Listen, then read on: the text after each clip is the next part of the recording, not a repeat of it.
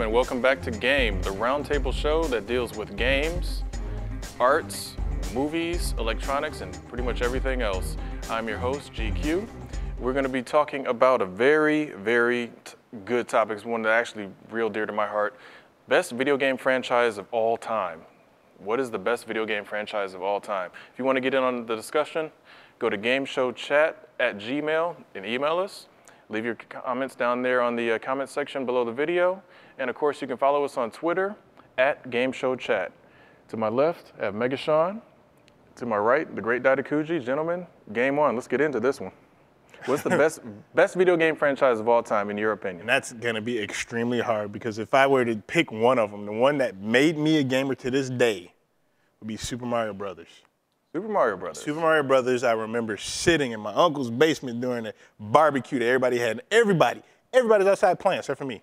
I was down there playing Super Mario Brothers, trying to get that guy to jump over that friggin' that friggin' pit in the first level. You know, back in the day when you didn't have the coordination that you have right now. Uh-huh. Super Mario Brothers probably would be my most one that I hold dear to my heart. But when it comes to the, the favorite one, that's a huge. I mean, I can go through hundreds of games that I play like Street Fighter.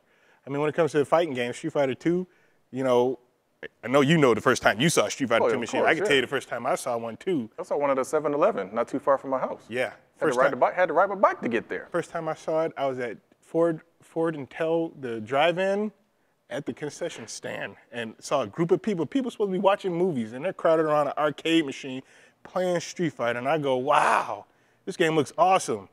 Now I'm, I'm, I'm gonna, I'm gonna.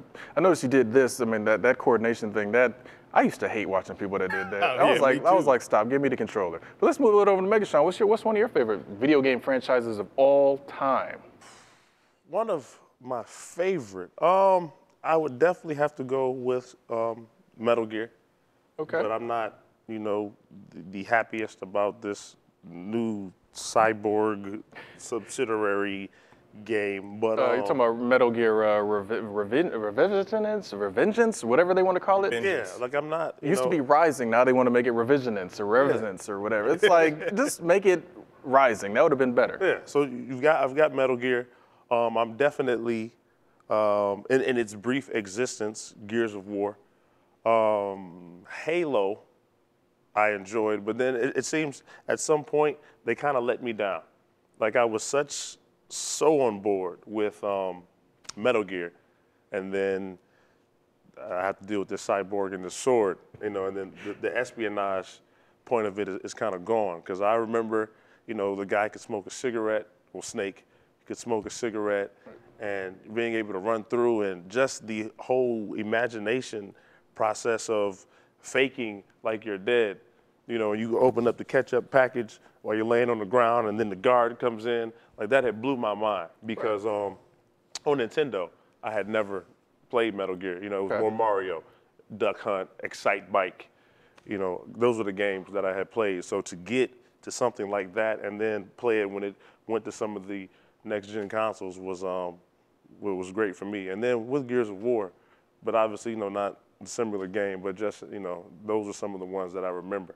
Okay, so it sounds like the innovation of Metal Gear is kind of what drew you into Metal Gear. It was it was a little bit different than a lot of the other games of its of the day. I mean, they were thinking of all these little intricacies in the game that a lot of games just kind of would you know glance over, didn't even think about. Uh, it seems that you're picking a lot of the warlike games, and Jack Thompson might be trying to chase you down and and and uh, sue you for uh, possibly committing some violent crimes in the future.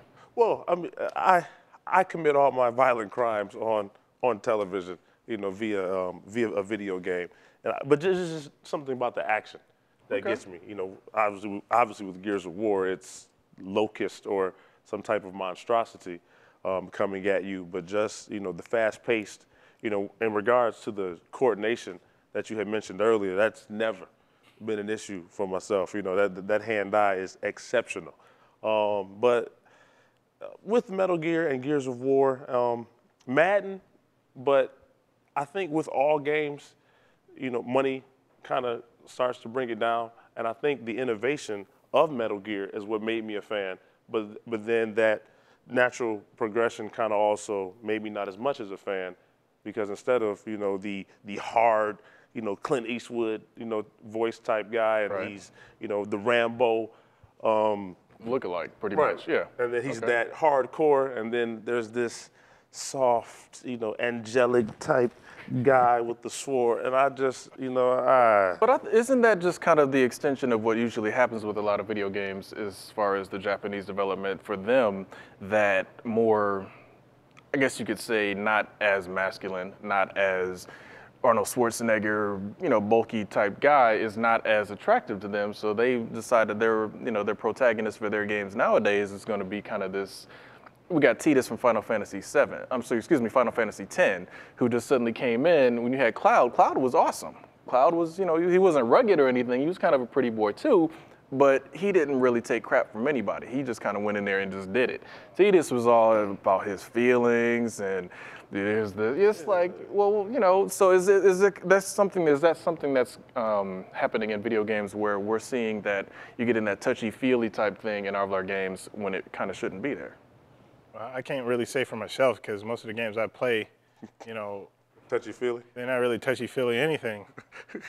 I mean, if one of the games I'm playing right now is God of War. You know, God of War that came out. It's not really t- touchy feely at all, but also it's a, a, a Western developed game, and the guy is hardcore. He's man. He's Kra- a man's man. Kratos man. is in touch with his feelings, but all of his feelings are anger. So he Rage. rage and get in there and, and beat somebody down, which again, that's that's him. That's fine. It works for that game one of franchise. my And I will series, say too. that that definitely would be one of the best. Yeah, Um, that that just- series when it came around, it blew my mind. It, that's that is how you make games nowadays, and it just seems like they're coming few and far between of original type stuff.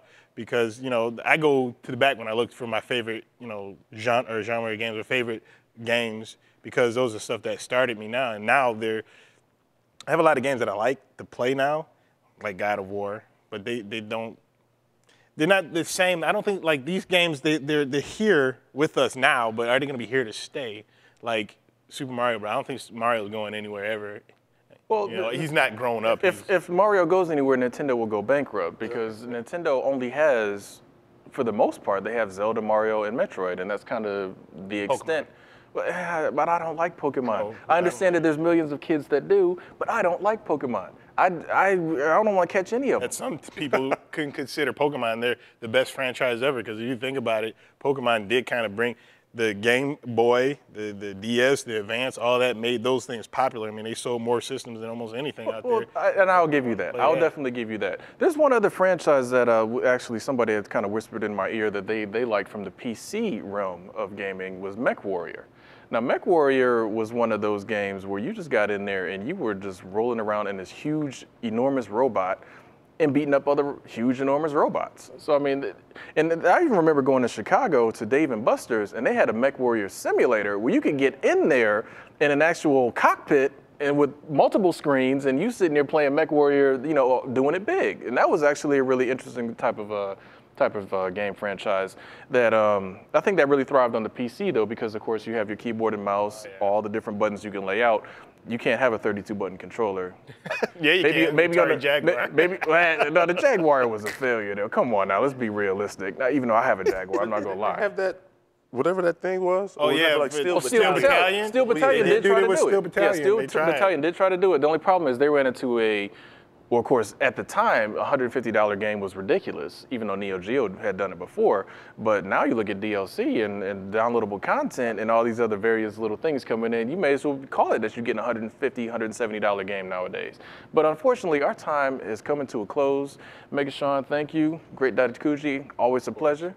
Again, if you want to join in on the conversation, gameshowchat at gmail.com. Follow us on Twitter at gameshowchat.